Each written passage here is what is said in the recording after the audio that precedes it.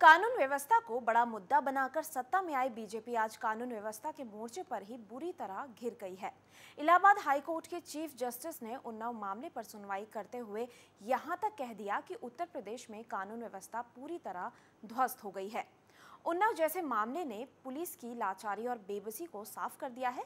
इस मामले में पहले तो पुलिस का लाचार रवैया सामने आया, उसके बाद सूबे के डीजीपी का आरोपी विधायक को माननीय कहना सरकार की और किरकिरी करा गया।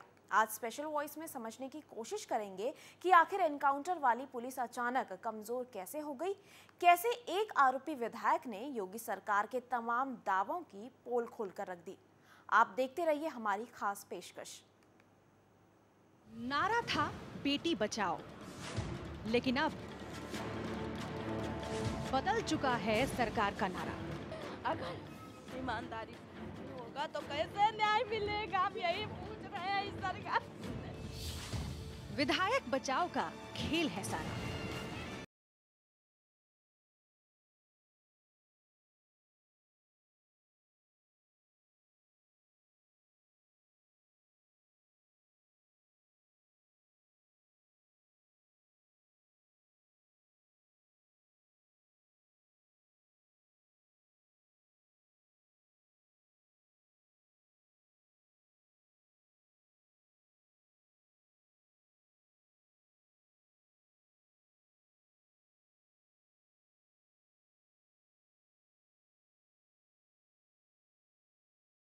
विधायक बचाव के खेल में सबसे बड़ा खुलासा।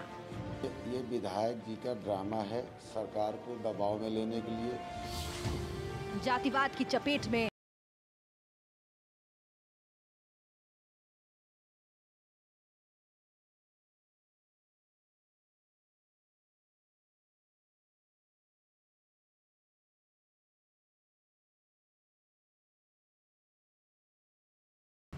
एक रेप का आरोपी हो जाता है माननीय।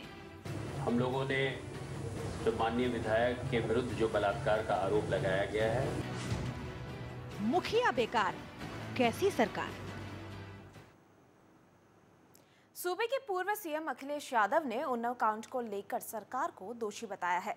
तमाम आरोप लगाए हैं लेकिन उससे पहले आपको ग्राफिक्स के ज़रिए दिखाते हैं कि उन्नाव रेप मामले में अब तक क्या क्या हुआ है। परिवार मेडिकल चेकअप के लिए राजधानी पहुँचा। मेडिकल के बाद पीड़िता और उसके परिवार को लेकर सीबीआई टीम जोनल ऑफ़िस पहुँची। पीड़िता के चाचा बोले, प्रशासन विधायक को बचाने में लगा था। मेडिकल के बाद सीबीआई ने पीड़िता से पूछताछ शुरू की। शनिवार सुबह सीबीआई की तीन सदस्य टीम होटल पहुँची। सीबीआई ने परिवार के लोगों को किसी से बातचीत करने से रोका है। सीबीआई ने कुलदीप सेंगर को गिरफ़्तार करने के बाद उनका मेडिकल भी कराया था। सीबीआई कोर्ट में कुलदीप सेंगर की पेशी की गई। विधायक का मोबाइल सीबीआई ने जब्त किया। सीबीआई ने सेंगर के दोनों मोबाइल फ़ोन अपने कब्जे में लिए। सीबीआई को सौंपी कॉल रिकॉर्डिंग पीड़िता के चाचा ने सीबीआई को कॉल रिकॉर्डिंग भी सौंप दी है. पीड़िता की माँ, बहन और पीड़िता की दादी से सीबीआई ने अलग अलग पूछताछ की। उन्नाव मामले में गिरफ़्तार बीजेपी विधायक सेंगर को आज सीबीआई ने कोर्ट में पेश किया है। पिछले पाँच दिनों से चले आ रहे घटनाक्रम में आज एक बात अलग दिखी और वो थी सेंगर की अकड़। गिरफ्तारी से पहले खुद पर भरोसा जताने वाले सेंगर का भरोसा सीबीआई के शिकंजे में आने के बाद कुछ इस कदर डगमगाया कि वो अब भगवान पर भरोसा करने लगे हैं। ये हम नहीं, पेशी पर आए कुलदीप सिंह सेंगर ने मीडिया के सवालों के जवाब में कहा है।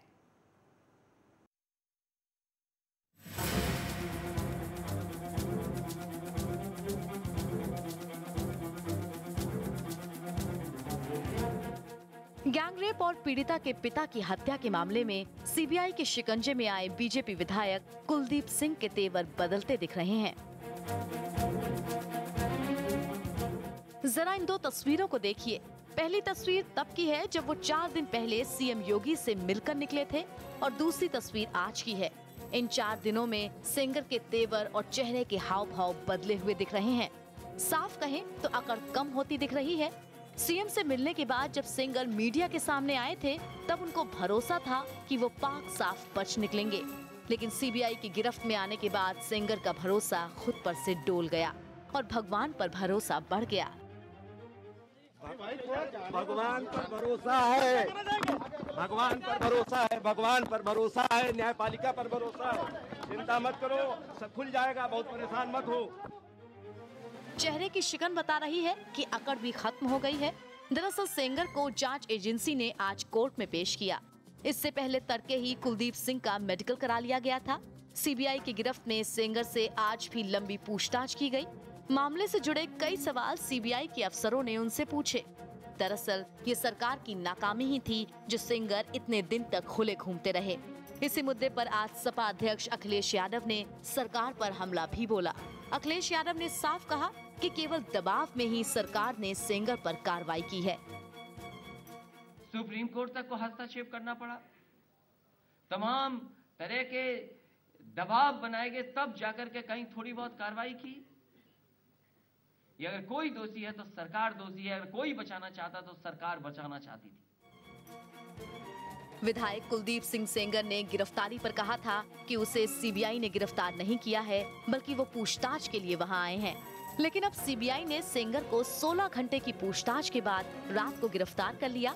सीबीआई के हाथ में केस आने से पहले तो यूपी पुलिस सेंगर की आव भगत में लग गई।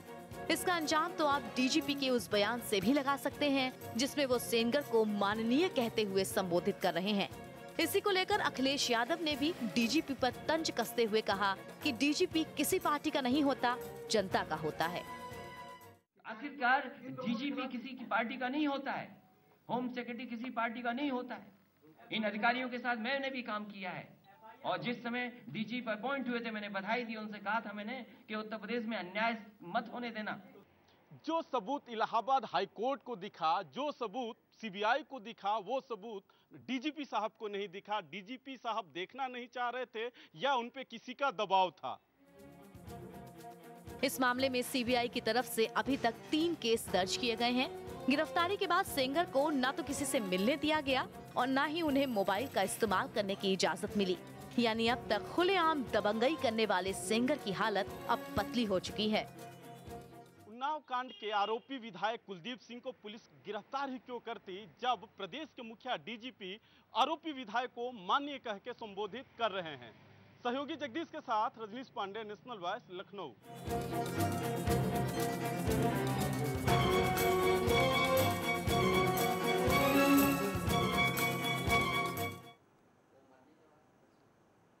जब हाईकोर्ट में सरकार का पक्ष रख रहे एडवोकेट को ये समझ में नहीं आ रहा था कि विधायक कुलदीप सेंगर की अब तक गिरफ्तारी नहीं होने के सवाल पर वो क्या जवाब दें, ठीक उसी वक्त सीएम आदित्यनाथ पीतम्बरा पीठ में आरती पूजन में लगे थे।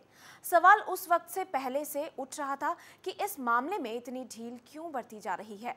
और उसके बाद, एक के बाद एक जो घटनाक्रम सामने आए, उसने सीएम योगी से लेकर सूबे के पुलिस मुखिया पर सवाल उठाने पर मजबूर कर दिया। देखिए ये रिपोर्ट। अगर ईमानदारी से होगा तो कैसे न्याय मिलेगा? हम यही पूछ रहे हैं इस सरकार। सवाल बड़ा है। एनकाउंटर वाली पुलिस क्यों डर गई? अपराधियों के खौफ वाली पुलिस क्यों घबरा गई?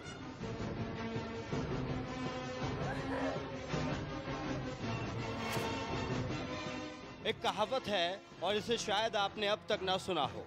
कहावत यह है कि जब नाकामी का दौर शुरू होता है तो निकम्मापन अपनी जगह बना लेता है और यही निकम्मापन बन जाता है किसी का पतन। इसे कहावत कहें, मुहावरा कहें या फिर कोई दोहा, कोई फ़र्क नहीं पड़ता। लेकिन जो यूपी पुलिस ने कर दिखाया है, उससे फ़र्क पड़ता है, बहुत फ़र्क पड़ता है। गुंडाराज और अपराध खत्म करने का दावा था। गुंडों और बदमाशों के सत्ता में होने का आरोप था। दावा था, अपराधी कोई भी हो, बख्शा नहीं जाएगा। योगी की पुलिस ने वो कर दिखाया है, जिसका फ़र्क अपराधियों से लेकर जनता तक पड़ने वाला है। जी हाँ अपराधियों में इसका फ़र्क इसलिए पड़ेगा, क्योंकि वो एनकाउंटर वाली पुलिस की बिल्ली वाली छवि देख चुके हैं।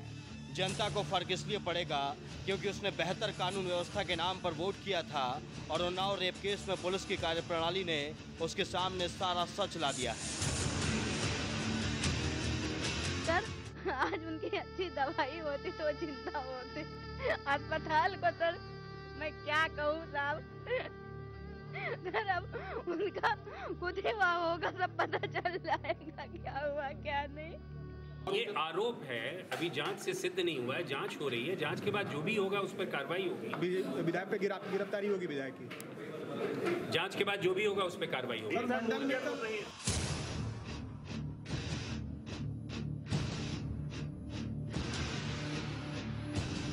जिस प्रदेश में एनकाउंटर की खबरें हर रोज आ रही हों जिस प्रदेश में अपराधियों का खौफ हर रोज अखबारों की सुर्खियाँ बन रहा हो उसी प्रदेश में वही पुलिस एक विधायक की विधायकी के आगे बेबस हो गई जरा सुनिए इस बयान को, जो सूबे के पुलिस मुखिया की कुर्सी संभालने के बाद खुद ओपी सिंह ने दिया था।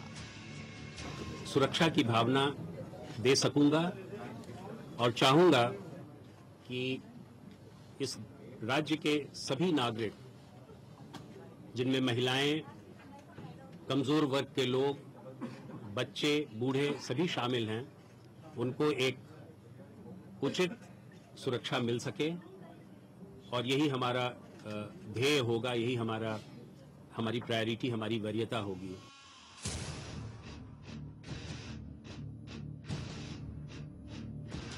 ये बयान देते वक्त डीजीपी ओपी सिंह सूबे की जनता को संबोधित कर रहे थे।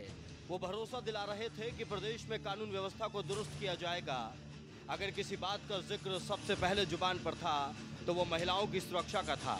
डीजीपी साहब ने कहा था, महिलाओं के खिलाफ अपराधों में सख्ती लाई जाएगी, बदमाशों को बिल्कुल नहीं छोड़ा जाएगा। लेकिन कुर्सी संभालने के चार महीने भी पूरे नहीं हुए कि ओपी सिंह साहब ने हाथ खड़े कर दिए। समाजवादी पार्टी के अध्यक्ष अखिलेश यादव ने प्रमुख सचिव से लेकर डीजीपी की कार्यप्रणाली पर सवाल खड़े किए हैं। हम पूछना चाहते हैं, नीचे से लेकर ऊपर तक, आज कौन है? आज डीजीपी का रोल क्या है? होम सेक्रेटरी का रोल क्या है? ये दोनों अधिकारी वरिष्ठ बचा रहे थे। क्या ये पूरा प्रदेश नहीं जानता? इनकी ज़िम्मेदारी क्या थी? कहीं ना कहीं ये जनता को और कानून को धोखा दे रहे थे।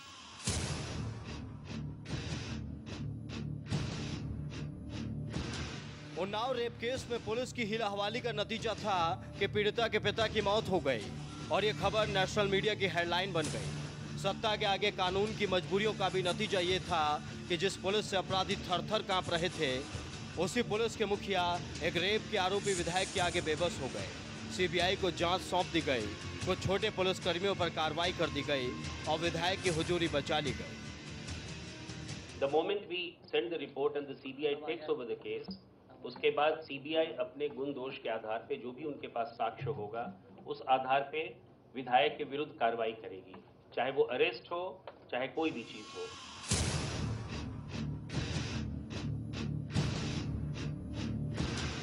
प्रदेश की कानून व्यवस्था को बेहतर बनाने के तमाम दावों की लिस्ट आज गुम हो गई है। रेप का आरोपी हो या फिर कोई और अपराधी, अब वो यूपी पुलिस से नहीं डरेगा, क्योंकि ये एनकाउंटर वाली पुलिस अब बेबस पुलिस हो गई है। वाकई, आज सोचना पड़ेगा वो कौन सा गुंडाराज था जिसके खिलाफ माहौल बनाया गया था। सवाल सरकारी हुक्मरानों के सामने है। कि कैसी व्यवस्था के बीच आज प्रदेश को ला खड़ा किया है, जहाँ बेबस, मासूम और कमज़ोर लोग न्याय की गुहार लगाते हैं और माननीय बनकर कांड करने वाले लोग प्रशासन से लेकर पुलिस तक का संरक्षण पाते हैं। Bureau report, national voice.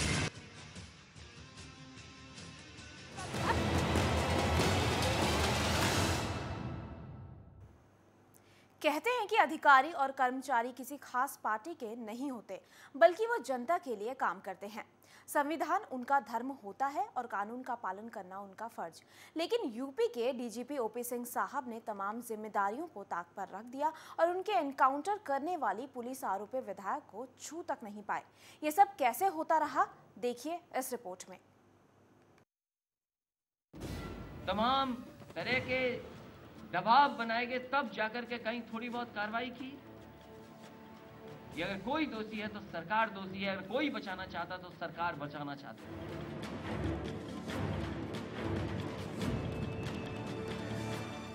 योगी सरकार पर अखिलेश यादव के इन आरोपों में कितना दम है, इसके लिए आपको पिछले चार दिनों का घटनाक्रम याद करना होगा। याद करना होगा, किस तरह सूबे की सरकार से लेकर पुलिस और प्रशासन तक एक रेप के आरोपी विधायक की विधायकी के आगे बेबस नज़र आए। एक विधायक को बचाने के लिए कानून और जनता के प्रति सरकार की जवाबदेही को ताक पर रख दिया गया। इसीलिए तो आज सपा के अध्यक्ष अखिलेश यादव खुलेआम सरकार को इसका दोषी बता रहे हैं। तमाम तरह के दबाव बनाए गए, तब जाकर के कहीं थोड़ी बहुत कार्रवाई की। कि अगर कोई दोषी है तो सरकार दोषी है, अगर कोई बचाना चाहता तो सरकार बचाना चाहती है।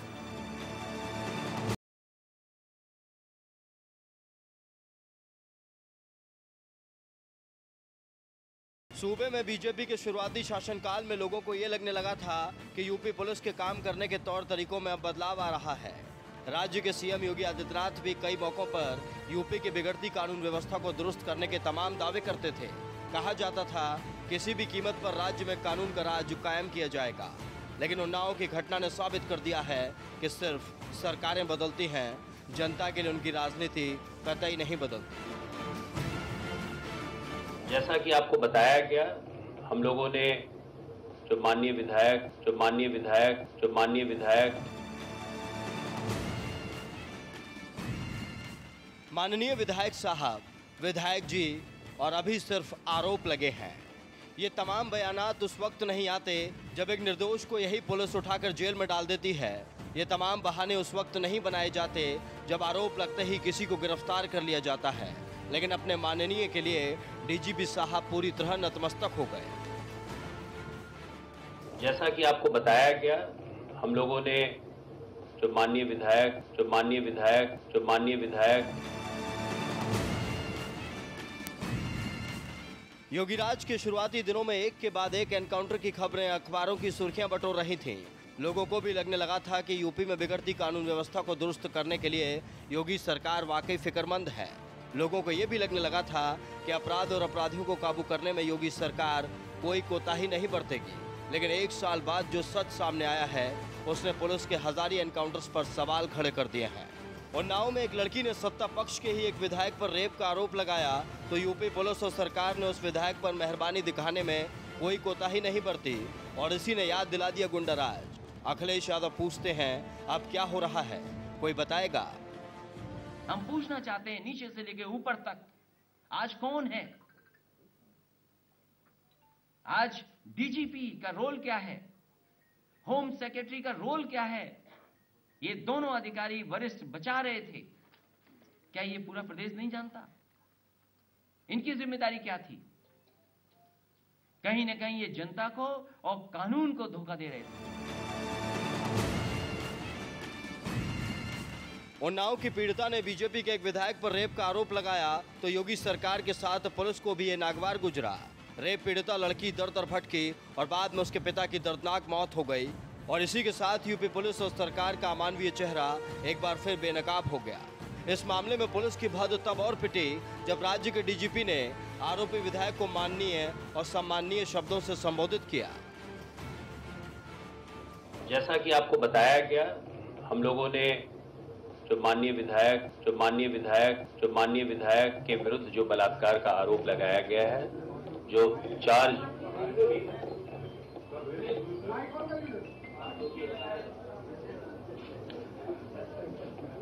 एक्यूज को भी सम्मान अगर दे रहे हैं आप विधायक होने के कारण तो मैं समझता हूँ कि कोई नहीं अभी दोषी मुक्त, दोषी नहीं करार किए गए हैं वो। एक आरोप लगाया है और उस आरोप की जाँच, उसकी विवेचना हमने सीबीआई को दे दिया है।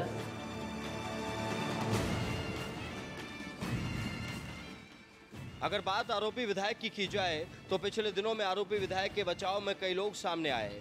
खुद आरोपी विधायक की पत्नी ने भी मीडिया के सामने आकर कहा कि मेरे पति और पीड़िता दोनों का नार्को टेस्ट होना चाहिए। बीजेपी के ही एक विधायक साहब सामने आए और कहा कि कोई तीन बच्चों की माँ से रेप क्यों करेगा? और रही सही कसर डीजीपी ओपी सिंह ने पूरी कर दी। मीडिया के सामने आरोपी विधायक के नाम के आगे माननीय और सम्माननीय लगाकर उन्होंने बता दिया कि वो अपराध और अपराधियों को लेकर कितने संवेदनशील हैं। डीजीपी के माननीय शब्द पर अखिलेश यादव ने अपने ही अंदाज में सबको निशाने पर लिया है। उत्तर प्रदेश का तो हम कह सकते हैं जहाँ हज़ारों इनकाउंटर हुए हों। सरकार ये दावा करती हो कि इनकाउंटर से कानून व्यवस्था बेहतर हो गई है। लेकिन वहीं सरकार का असली चेहरा उजागर हो गया उन्नाव की घटना से।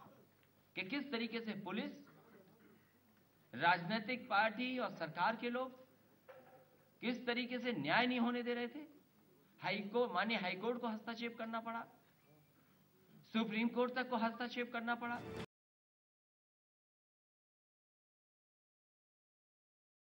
केंद्र से सालों बाद राज्य की कानून व्यवस्था को दुरुस्त करने के लिए आए नए डीजीपी ओपी सिंह की बेबसी भी सोचने पर मजबूर करती है कि कैसे कोई बड़ा आदमी जब अपराध करता है तो पुलिस उसके आगे कठपुतली की तरह नाचती है। आईपीसी एक्ट कहता है कि किसी आम आदमी से लेकर विधायक, सांसद या फिर मंत्री की गिरफ्तारी के अधिकार हैं। इसके बावजूद भी पुलिस को वीवीआईपी लोगों को गिरफ़्तार करने में क्यों डर लगता है, ये एक बड़ा सवाल है। एक तरफ़ राज्य में दलादल एनकाउंटर की खबरें और दूसरी तरफ़ आरोपियों को बचाने को लेकर यूपी पुलिस के नए नए पैतरों ने साबित कर दिया है कि सरकार चाहे किसी की भी हो, उनके रवैये में कोई बदलाव नहीं आता।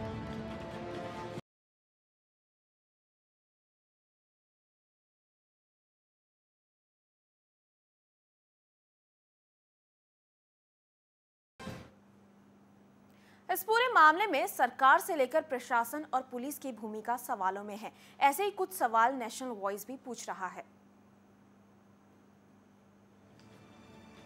क्यों आरोपी विधायक को माननीय कहकर संबोधित किया गया?